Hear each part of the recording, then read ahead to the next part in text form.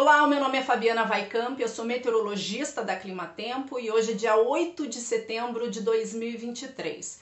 E eu falo com vocês agora a respeito das análises meteorológicas para o sul do Brasil nos próximos dias, o que se deve esperar do tempo por lá, com destaque no Rio Grande do Sul.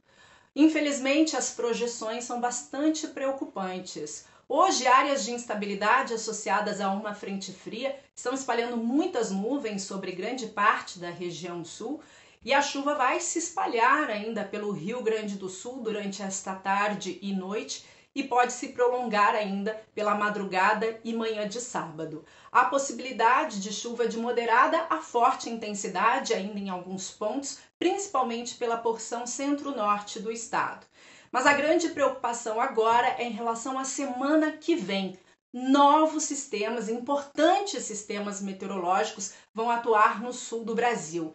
Na segunda-feira, o Rio Grande do Sul até terá sol e temperaturas altas, mas uma nova frente fria chega ao longo do dia e vai provocar pancadas de chuva de forte intensidade, acompanhadas de raios, trovoadas e rajadas de vento pela parte sul, campanha gaúcha e também pelo oeste do estado.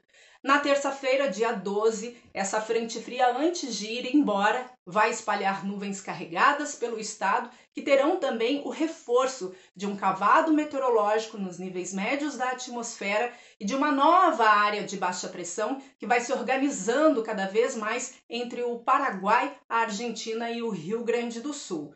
Por causa disso, os temporais vão se espalhar pelo Rio Grande do Sul. Há previsão de chuva intensa volumosa e também há risco de ventania e queda de granizo. E na quarta-feira, essa área de baixa pressão se desloca sobre o Rio Grande do Sul, avança para o oceano, dando origem a um novo ciclone extratropical e a uma nova frente fria.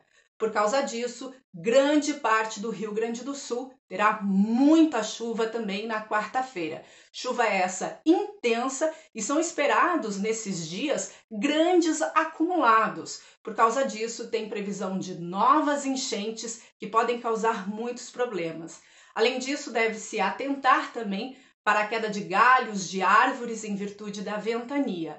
E a população deve ficar muito atenta aos avisos da Defesa Civil. Acompanhe também o site da Climatempo e todas as informações que iremos atualizar diariamente por lá.